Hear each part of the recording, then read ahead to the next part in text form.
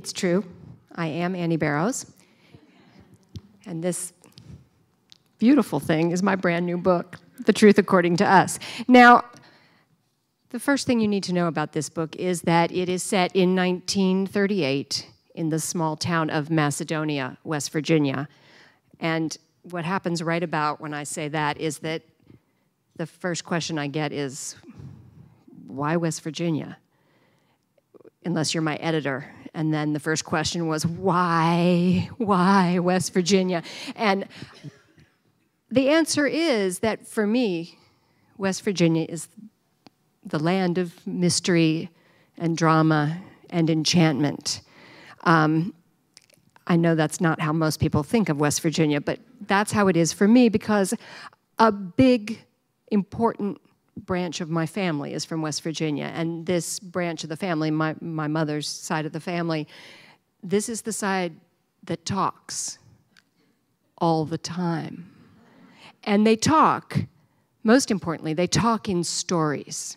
Everybody in, on that side of the family talks, and they tell story after story after story. And this is how I grew up. This was the wallpaper of my life. In my household, you hear a story about everything.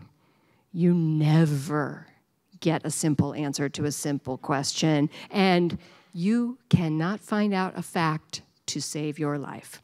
And, you know, to give, I was thinking about various examples I could give of this. They're endless. The examples are endless.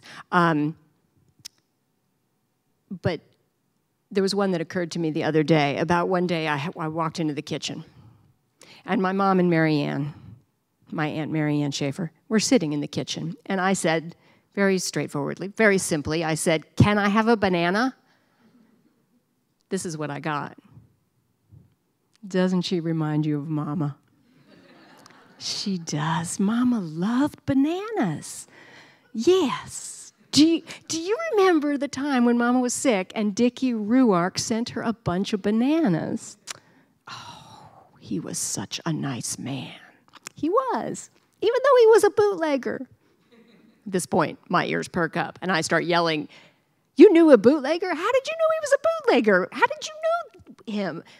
And my mother answers, Oh, we knew he was a bootlegger because he had pockets on the inside of his coat. But he was such a nice man. What was his wife's name? Mm, I don't remember. He divorced her. He did, and he wouldn't tell anybody why. He said if they wanted to know why, they should send him $5 and he'd write it out for them. He was such a nice man. Then they got up and left. You notice I don't have a banana here at all. Um, and this was the, that Dickie Ruark and his pocket full of bananas. This that's just one tiny instance, but to me, that just that is one more example of how exciting and wonderful and dramatic life was in the town of Martinsburg, West Virginia, where my mom and Mary Ann grew up. And, and, and the, the wonders of this town filled my childhood. In this town, the gypsies burnt down the funeral parlor. In this town, my mother got poison oak inside her nose. In that town, Mary Ann went on her first date with a boy who had seven older sisters who had tried to bury him alive when he was five years old. The wonders were endless. Now, despite the fact that I had to grow up in boring old California instead of Martinsburg, West Virginia. I did manage to grow up and everything was fine. And what I um, decided to do was become an editor. And I was an editor for many years um, until I figured out that writers were having a lot more fun than editors. And I decided I would become a writer. And in order to do that, I went and got myself an MFA in creative writing. Now, when you get an MFA, the ostensible uh, purpose for getting one of those is that you become a better writer. Who knows if that happens? But one of the, the, the among the lessons that you encounter in a MFA program, it's pretty much standard operating procedure for you to be taught how to be a writer, what a writer is. And in my program, as in I think a lot of programs, the idea of the writer that I was given was that of a, of a distinctly individual voice. The voice is mine and mine alone, and that the the treasure of a writer, the source of the writer's creation is his or her own experiences refracted through the, the, the prism of the, you know, that, that personal sensibility. The individuality was a paramount idea in being a writer. And in addition to this idea about being a writer and being this individual, the preciousness of individuality, another piece of information that was sort of dispensed as part of the program was the idea that the most American story that it is possible to write is the story about the hero who leaves Ma and Pa and the family behind and travels into the great wilds of America. It is generally a guy who does this, but it could be a girl. Travels into the wild wilds of America and then kills something or other while he's there, like bad animals or bad guys or something like that. And then at that point is thus free to become entirely self determined and this great individual, um, free acting, independent being. That was, it was told to me it was it was it was taught to me that that was the most American theme of of American themes that that that that was the great American novels theme. I thought that was very weird. So I avoided the whole topic of the great American novel by becoming a children's book author, which was great because I love children and I do think that seven year olds are, have reached the pinnacle of life and that everything that happens afterwards is down goes downhill. Um, so that was wonderful. I love children and i loved writing for them and i really liked going out and talking to them and that was perfect. That was my career. And that was i intended to remain a children's book writer. That was what i was doing and i was enjoying it. And then all of a sudden everything changed. And it changed in about the middle of 2006 because in the middle of 2006, my Aunt Mary Ann Shaffer, who was not just sitting in the kitchen talking about Dickie Ruark and bananas, but was also all this time writing stories, finally had a book accepted for publication. This was a book that she had been writing for many years. Um, it was called the Guernsey Literary and Potato Peel Pie Society. And it was accepted for publication, and she was so thrilled because it was her lifelong dream. All she had ever wanted was to write a book that somebody would like enough to publish. And it was the fulfillment of all of our dreams, too, because we had wanted Mary Ann to write a book for years, and she had never finished a book before. And now the whole world was going to see that she was just the most genius of all possible storytellers. She was Scheherazade. And so we were all busting with pride, and everything was fabulous, except that very soon after the book was accepted for publication, Mary Ann fell ill. And a few months later, when the editor came back to her with fairly substantial rewrites, Mary Ann didn't feel that she was well enough to begin writing again. And at that point, she called me up and said, you know, you're the other writer in the family. Can you finish this book for me? And I said, Of course I can. Don't worry about a thing. I'll take care of it. And inside, I was thinking, this is, this is going to be impossible. This is crazy. I have been taught that the author's voice is the is individual, is the, oh, the precious singular voice is what an author creates. That's how you know you're an author. How am I going to be Mary Ann's voice? How am I going to tell Mary Ann's story? And additionally, how am I ever going to know enough about the occupation of the Channel Islands to write a book about it? So, well, first tactic, procrastination. Um, but that didn't work for very long. Um, I had to sit down and begin. And when I sat down the very first day, is very clear recollection. of that day, I sat down I started working away and I was writing. And after a couple hours, I thought, oh, this is not going to be impossible. This is going to be wonderful. Because I grew up hearing Mary Ann tell stories. Her stories were what made my idea of story. I knew how she would craft a sentence. I knew how she would tell an episode. It I could read a sentence and I'd think, "Oh, I know what comes next because she had created my idea of what stories were. And as I worked, I became more and more fascinated with, first of all, getting rid of this concept of the artist as a solo creature. And second, getting rid of the idea that the American story involves leaving your past behind, because it seems to me that there's an enormously important American story that has to do with bringing your past with you.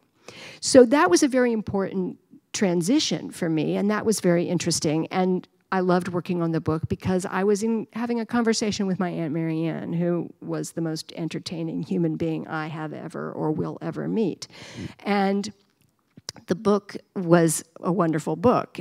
And Marianne did not live to see that book get published. She died five months before Guernsey Literary and Potato Peel Pie Society came out, so she did not get to see the book that she wrote become a major international bestseller. She did not get to see that that book was published in, what is it, 35 countries now and 28 languages. And that drives me completely crazy. I really, I, that to me is completely tragic. And as much, you know, I know, sure, she's watching from on high and uh, enjoying the reception that the book got and how much people love that book, but I would really much prefer it if she were right, you know, right here here would be even better. Talking to people about the book and seeing how much people loved it, that would be wonderful. After the book came out, the book came out in July of 2008, and about a few months later, in November of 2008, my my mom and I and my cousins, Mary Ann's daughters, my first cousins, we took a pilgrimage.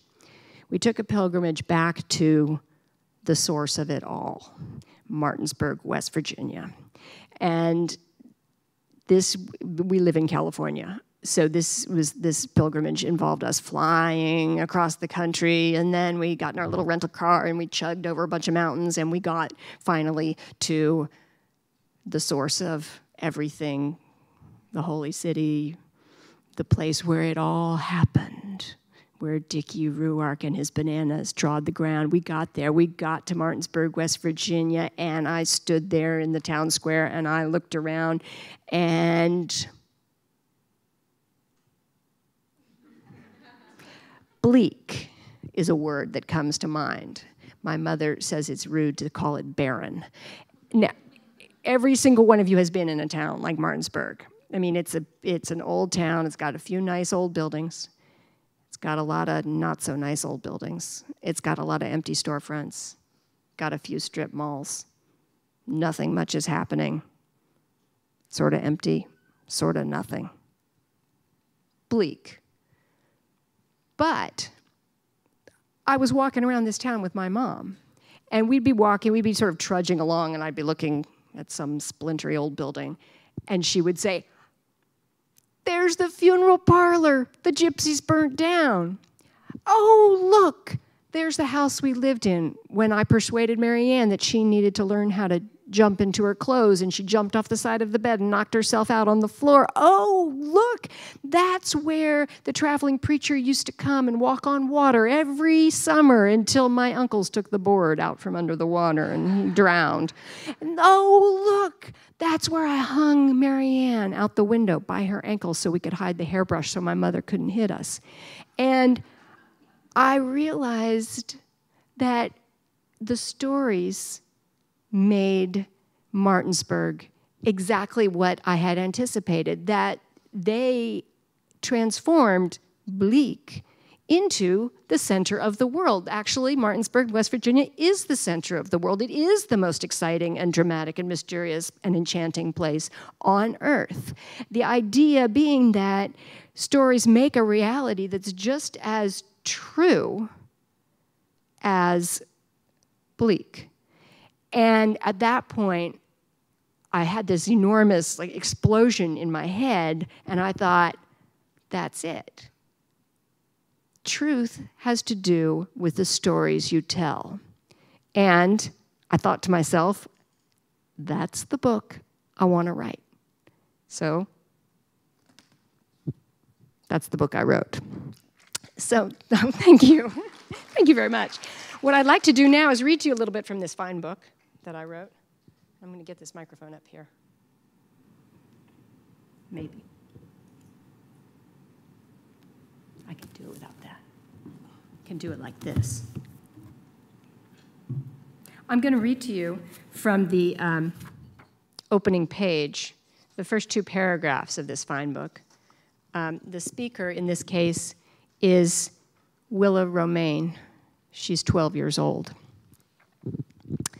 In 1938, the year I was 12, my hometown of Macedonia, West Virginia, celebrated its sesquicentennial, a word I thought had to do with fruit for the longest time.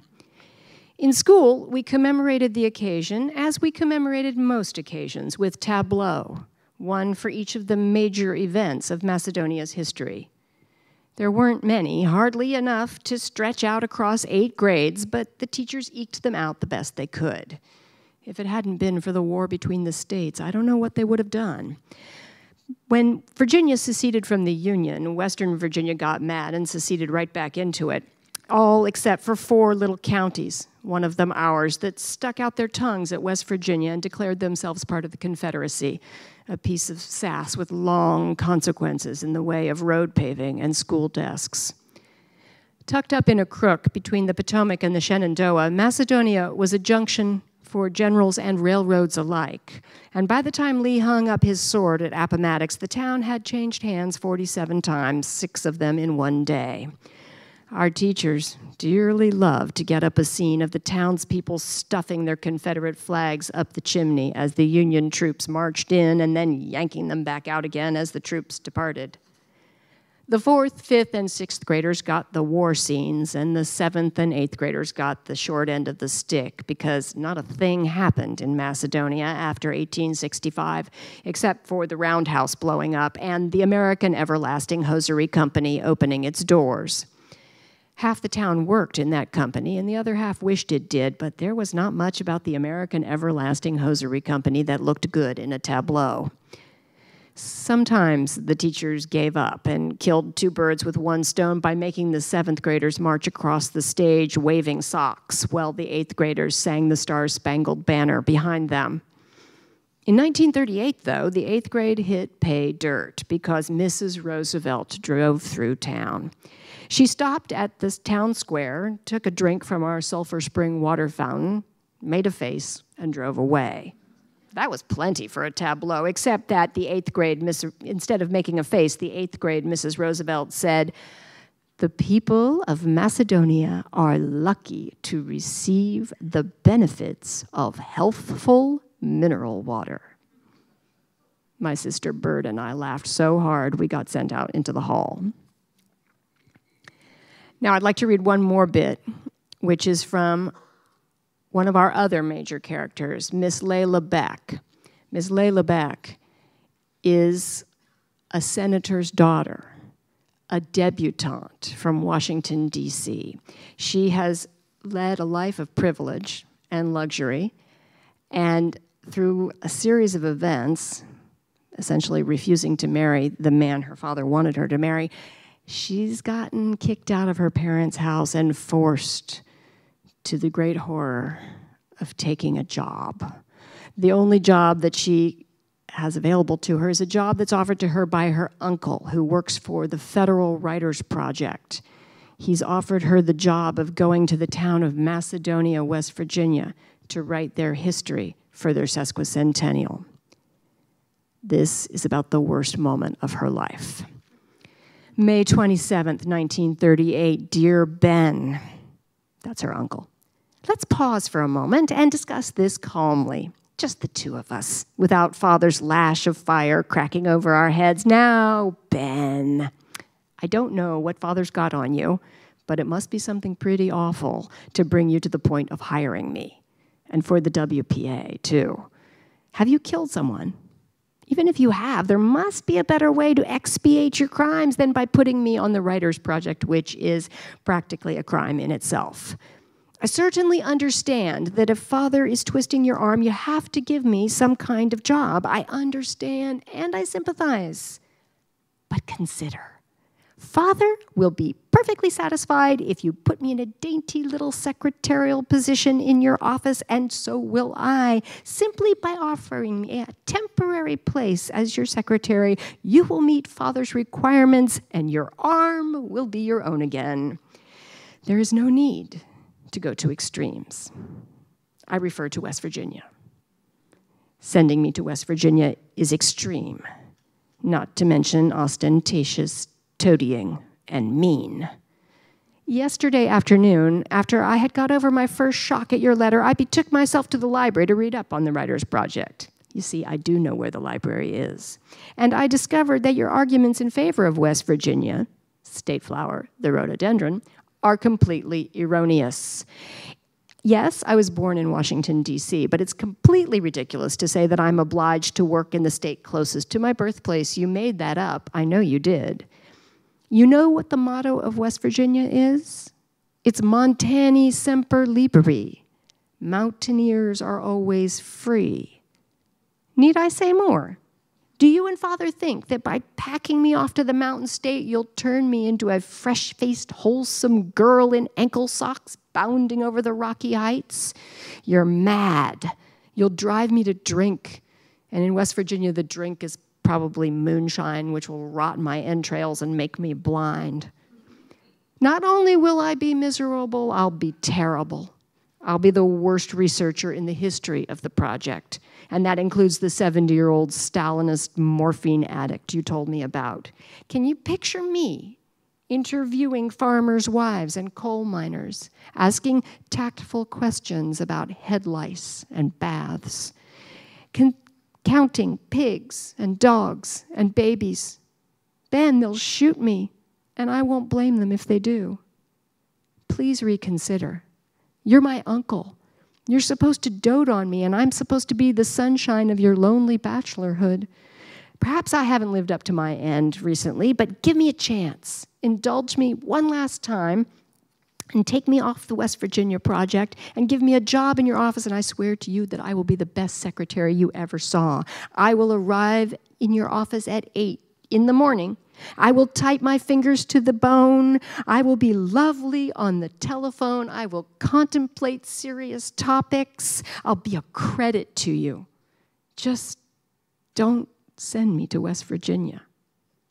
Please your loving and usually obedient niece, Layla. May 28th.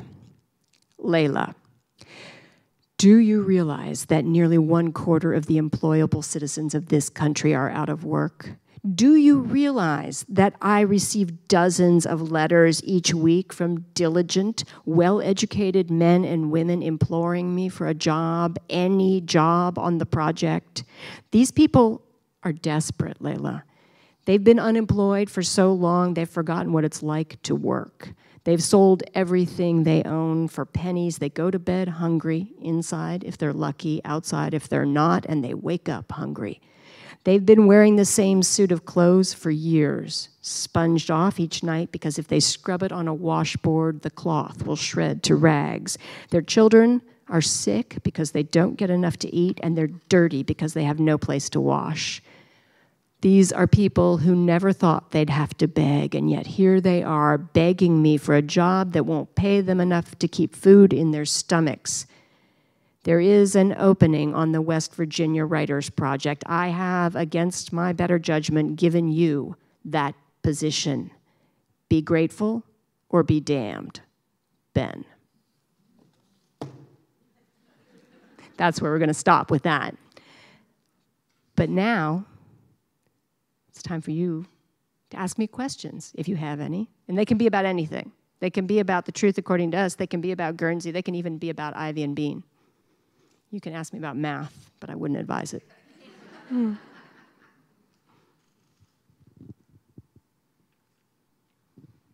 Yes, ma'am.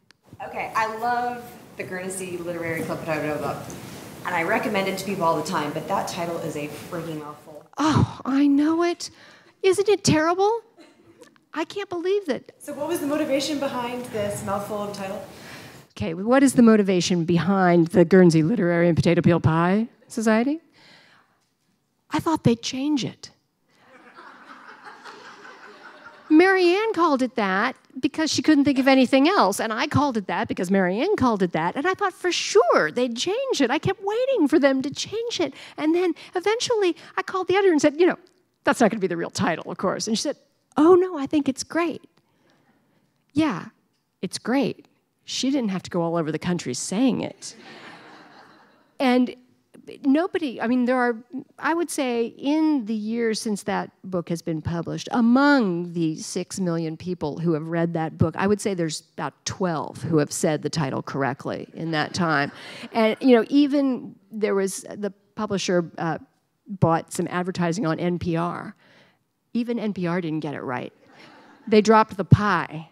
Um, we got we got an eighth of our money back because it was one eighth of the words that they left off. But but which that was very unsatisfying. Um, no, I, I, have no idea why they called it that. It it, it was it's a, such a mouthful.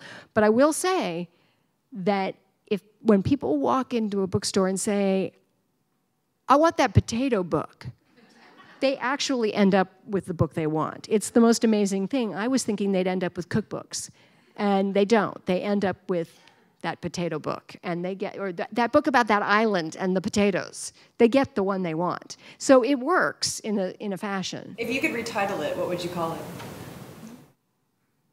Ooh nobody's ever asked me that question before. The thrill of power runs through my veins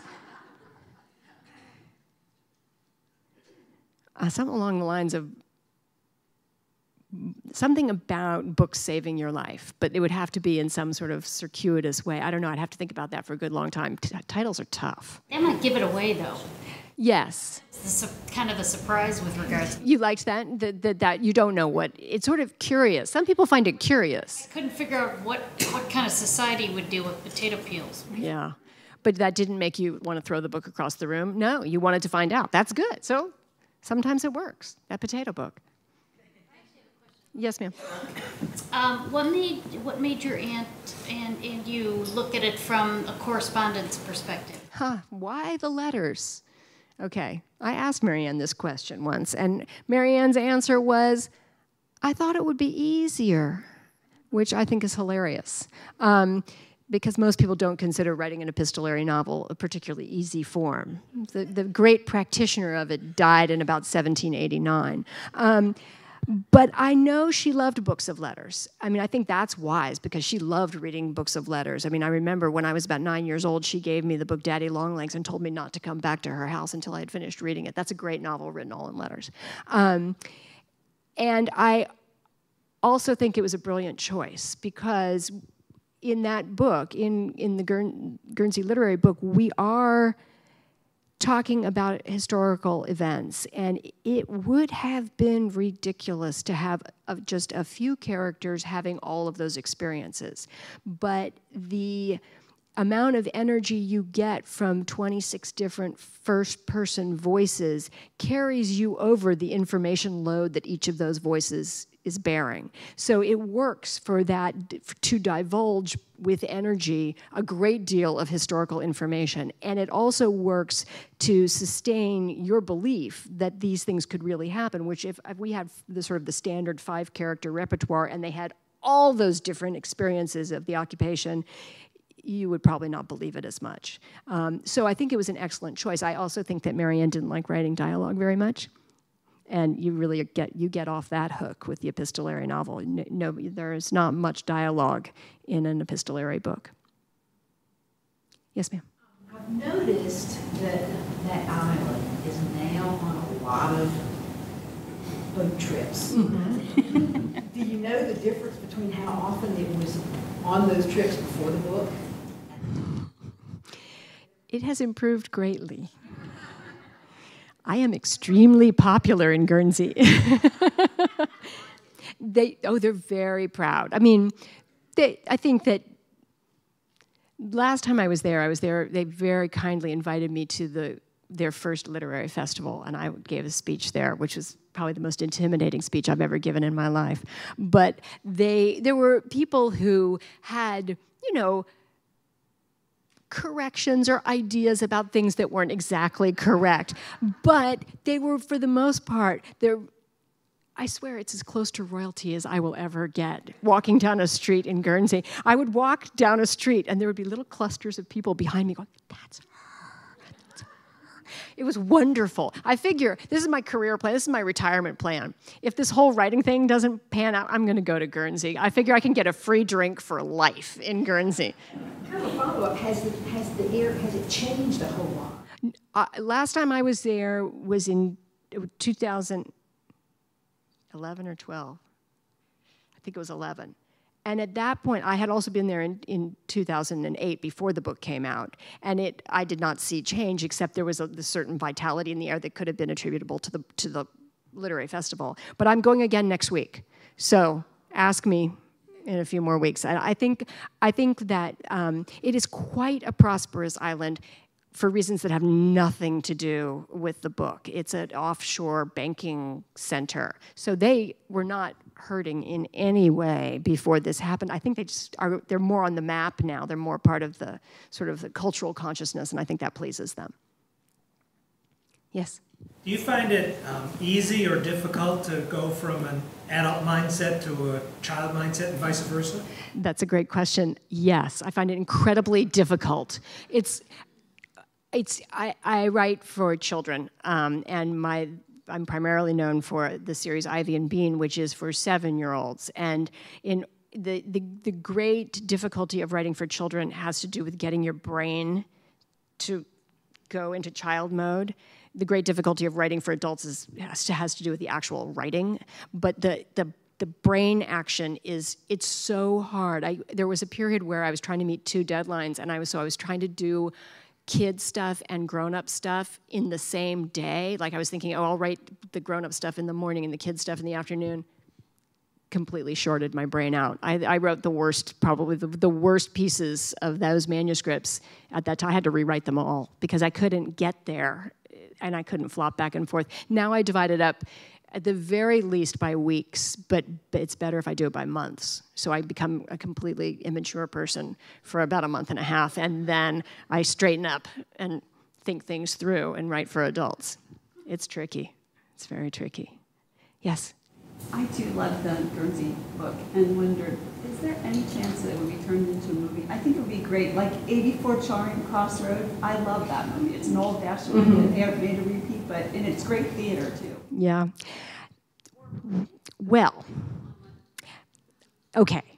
Now, I'm not supposed to tell you guys this, but the, the, the book was optioned before it was published for a movie, for film. And I was just with the producer last night, and I think things are looking really good. Okay, but this has been going on for years. And I don't understand Hollywood at all. I, what happens is that about every six months, I get a phone call from a parking lot in Los Angeles. And the person on the other end, and it's a number of different people, say, Oh, we are making real progress here. And I say, That's fantastic. And then they hang up, and then I have nothing seems to happen at all. So I don't know, but the producer seemed really positive. So the option prevents anybody else from developing it? That's right. That's that's what that that option is. I think it'd be great theater too. Well, the, yeah, that's possible, and there have been they they have very kindly. Um, the people who optioned it, who have all theatrical rights, have very kindly um, made several exceptions for staged readings that have been very successful. Um, but nobody's done, you know, a full production, which I think that they would not allow, especially because they're making such progress. I think. I don't know. I hope so too. Yes. How did two women from West Virginia and California write a book in Guernsey? How did we write this book about Guernsey? That's a very good question. And let's, we have to start with Mary Ann. Now, Mary Ann researched this book for 20 years. Um, Mary Ann uh, this Mary Ann found, well, shall I tell you how Mary Ann found herself on Guernsey? Okay, this is kind of a complicated story. It's a very Mary Ann story. Mary Ann was in England doing research for another book entirely. She was writing a biography of uh, Lady Kathleen Scott, who was the wife of the polar explorer uh, Captain Robert Falcon Scott. Um, Mary Ann loved him but there were lots of books on him. There were no books on his wife, so Mary Ann was writing a biography of his wife. She had gotten permission to go look at the family archive in Cambridge. And um, so she was there. It was very exciting. She was going to do all this research. She was going to write this biography of Lady Kathleen, big doings. She got to Cambridge. She went to the archive. She sat down. She started her research. And after three days, she decided she hated Lady Kathleen Scott. Terrible woman, didn't deserve a biography. So then for reasons we, that we cannot fathom, we argue about this constantly, what on earth she was doing. She flew to Guernsey. And, and she had to have had a reason because you don't go there for no reason at all. It's, it's not on the way to anything. Um, so she, she flew into Guernsey, and, and then we go into a complete Mary Ann story. The moment the plane landed, a terrible fog boiled out of the sea enshrouding the island in gloom. The airport shut down, ferry service shut down, taxis went away, and there was Mary Ann in the airport for 36 hours, huddled under the hand dryer in the men's restroom. The hand dryer in the women's restroom was broken. And but, so there she was, but Mary Ann was not a person who could go for 36 hours without having something to read, so every once in a while she went out and got herself a book from the, the bookstore at the Guernsey airport, and all of the books at, that she read were about the occupation of the Channel Islands. Um, and now, Mary Ann, being American, had no idea that the Nazis occupied those islands, and so she was completely riveted, completely fascinated. And when the fog finally lifted, uh, she left. She never saw the island, but she, she left. But she had, she had a whole stack of those books under her arm. She didn't steal them, she bought them. Um, and that started her off. And that was in 1980. So she spent the next 20 years researching the occupation of the islands, but also resistance movements during World War II in general and a, lot, a lot, a lot about World War II history and military movements during the Second World War. But she didn't. She started writing the book in the year 2000. So from 1980 to 2000, it was research. That's how she got that that knowledge that allowed her to write the book. And and when I came along. I, of course, read all those books that she had hauled out of the Guernsey airport, but I also I did a lot of research on my own, you know, and then when all else failed, I made it up. I only had a couple of months. I had five months. I had to get it. I had to. I had to learn it fast. And there are just some things you cannot find out without going to Guernsey. And I didn't have time to go to Guernsey, so I made it up. Don't tell anyone. Any other questions? Yes. I wonder if the uh, the fact that it was a small town in West Virginia. And Guernsey is, you know, kind of a small town. That mm-hmm. would have anything to do with the attraction. Oh, yes, completely. I mean, that to me, a small town is the perfect scene for all stories because in a small town, in the small town that I grew up in, everybody knows something about everybody else.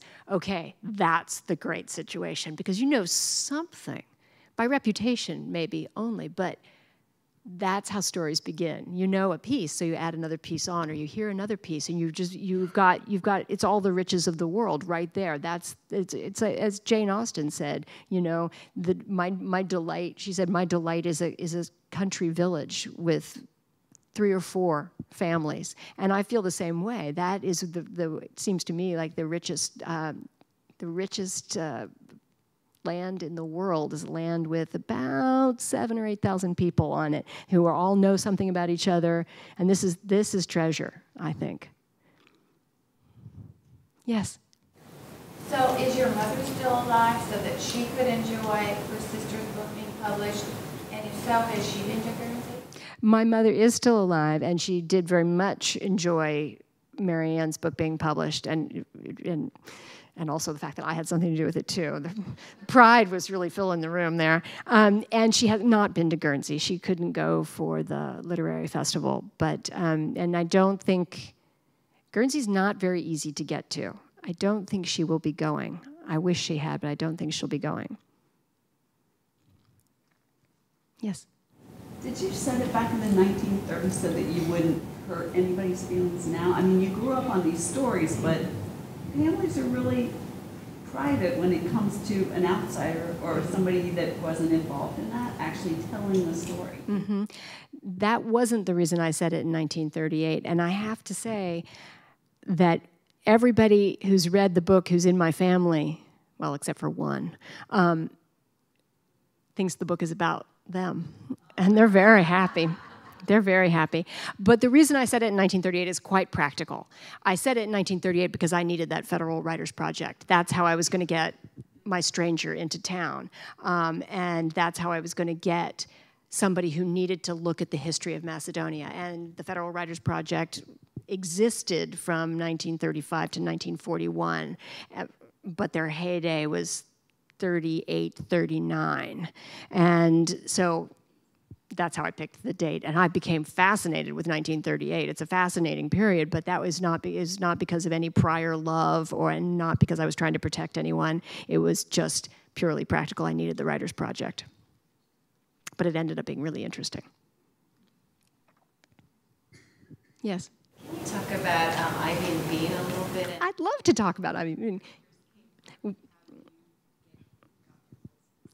Uh, Ivy and Bean. Now, for those of you who don't know, Ivy and Bean. Um, the, the, that's the name of the series of children's books I wrote, and the story is about two little girls who before they met each other, did not like each other at all. Uh, Bean is the kind of kid who runs around and yells and screams, and Ivy's the kind of kid who reads big books. So they really don't have anything to do with each other until one day um, Bean is having some trouble with her older sister, and she decides that probably the best thing for her to do is run away from home. So she runs around her cul-de-sac and ends up talking to Ivy for the first time in her life. And during this conversation, she discovers that Ivy is um, practicing to be a witch when she grows up. And together they decide that really let the permanent solution to Bean's problems with her older sister would be to cast a spell on the older sister to make her dance uncontrollably for the rest of her life. Um, and so they concoct this spell that consists primarily of worms. And um, it doesn't really turn out the way they had planned, but the older sister ends up covered with worms and mud and screaming. And so Ivy and Bean feel that this is an enormous success and that they are the best of friends for forever after that. And so your question is, where did I get that idea? Where did that where did that all come from? Their characters.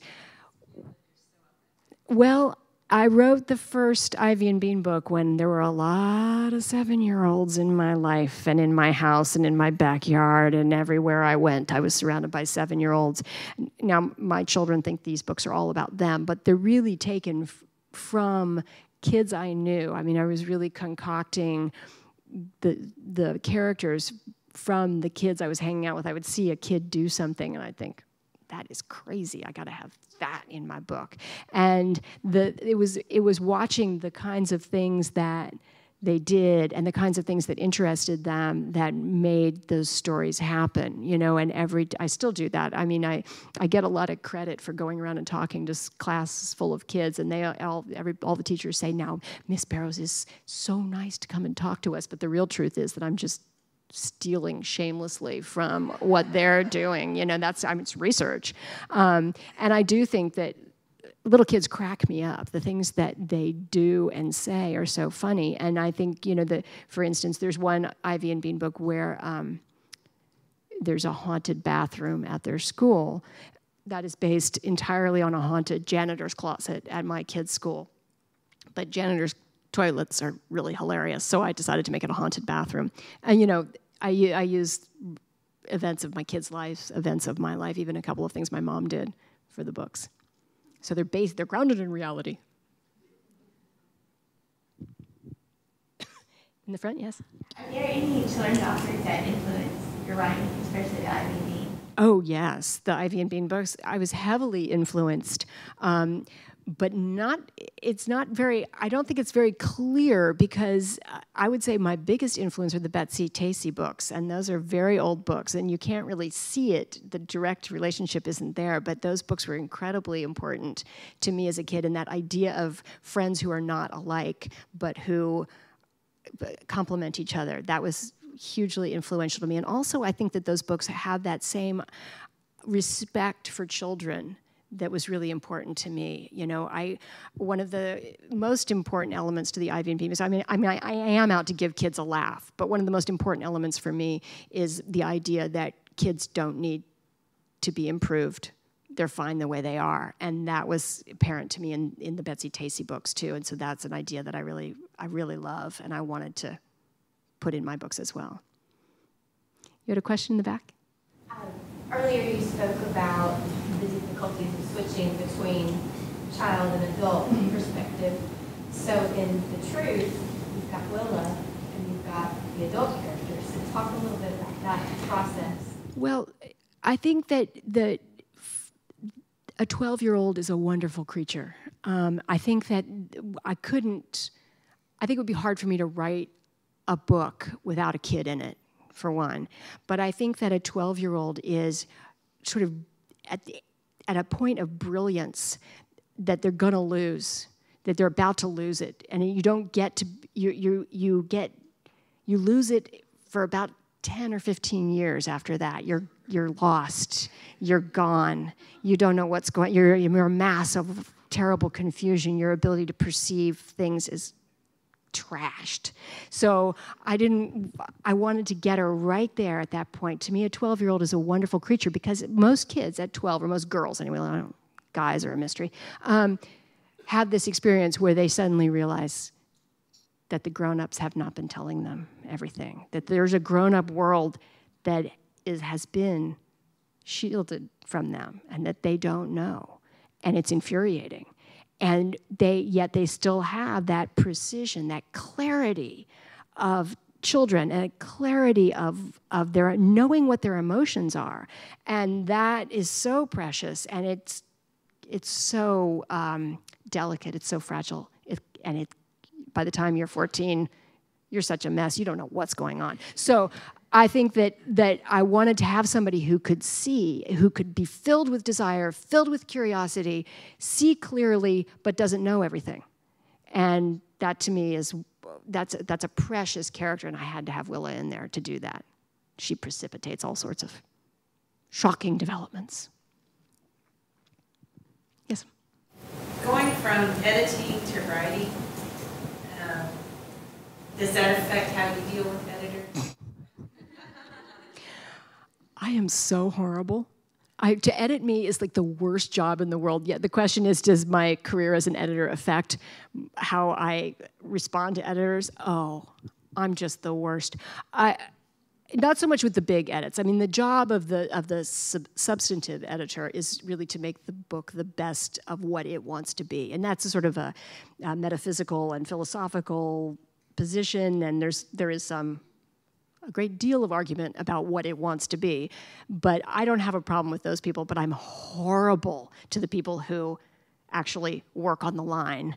I mean, I, I, argue with everything. I'm just completely passionate about semicolons and italics, and I just I'm I'm impossible. And the, the, for this book, The Truth According to Us, oh, I had two editors who were line ed- who were doing the line with me, and one of them bless her heart, thought I was funny, thank God.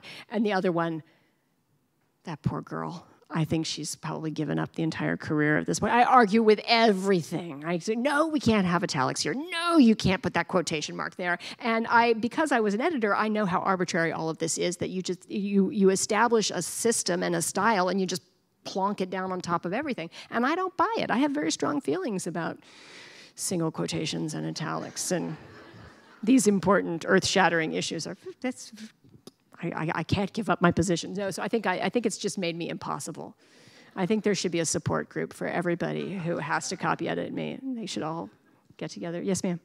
Following that question, um, did you have do you have a problem in writing Or does the editing take over while you're writing? Oh, the, for writing, I don't have a problem. I, I, I've gotten, I've been doing this for 19 years now, and I, I feel that I've, I'm past the point of writer's block or procrastination. I really try to view it